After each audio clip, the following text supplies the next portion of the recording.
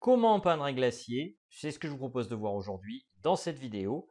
Et euh, justement pour euh, illustrer euh, cette idée de glacier, je vais vous amener en fait avant de commencer à vous montrer le timelapse que j'ai réalisé au cheminement qui m'a permis de décider de peindre tout simplement un glacier. Donc c'est parti, on y va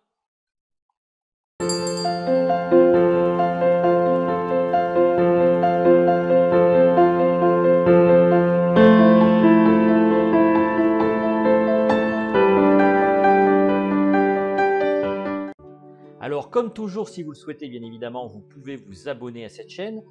On, y traite de peinture principalement. Donc, l'idée, c'est de parler de peinture en général, d'acrylique, d'huile et pourquoi pas même d'autres techniques.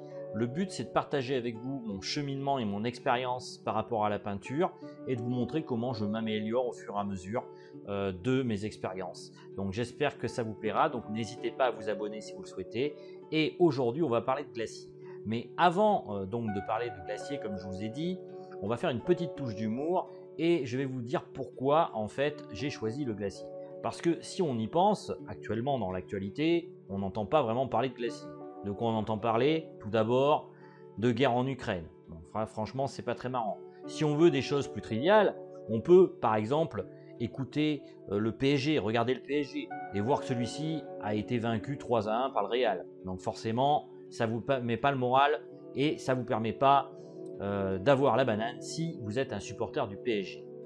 Et je pourrais très bien faire, comme Yannick Noah, dire J'en ai marre J'en ai marre de cette équipe qui pompe tout le temps J'en ai marre Oui, il y en a marre, c'est vrai, mais euh, bon, lui c'était pour le PSG, et moi j'ai envie de dire qu'il y en a marre pour d'autres sujets, effectivement. Et je pense aussi que on aurait pu aussi parler, par exemple, de l'inaccessible étoile que le PSG n'atteindra sans doute jamais.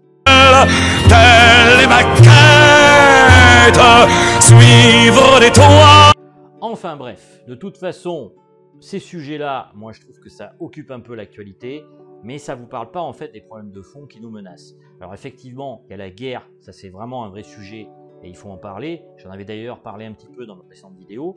Mais là, aujourd'hui, je voulais vous parler de glacier. Pourquoi vous parler de glacier Parce que tout simplement, je ne sais pas si vous avez vu, il y a un rapport qui s'appelle le rapport du GIEC qui est sorti il y a peu, et il est très alarmant.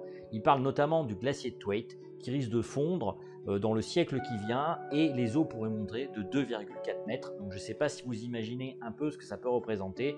Et ça veut dire aussi, par exemple, que des villes comme La Rochelle risquent de disparaître.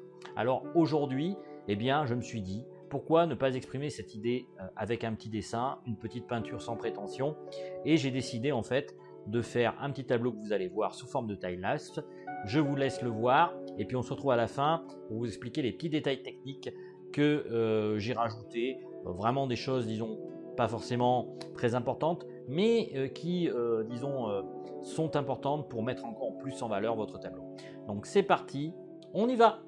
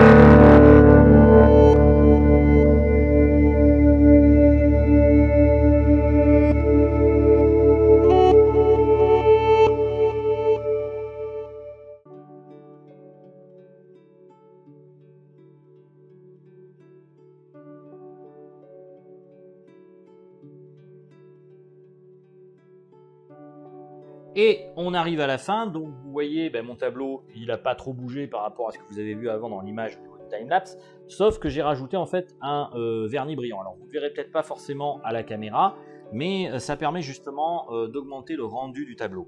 Alors comme vous pouvez voir, en fait souvent, ben, la peinture ça part aussi d'une idée toute simple. Là en l'occurrence j'ai voulu peindre le réchauffement climatique et montrer un peu, disons, le danger qu'il peut y avoir euh, ne serait-ce que pour des espèces comme les manchots.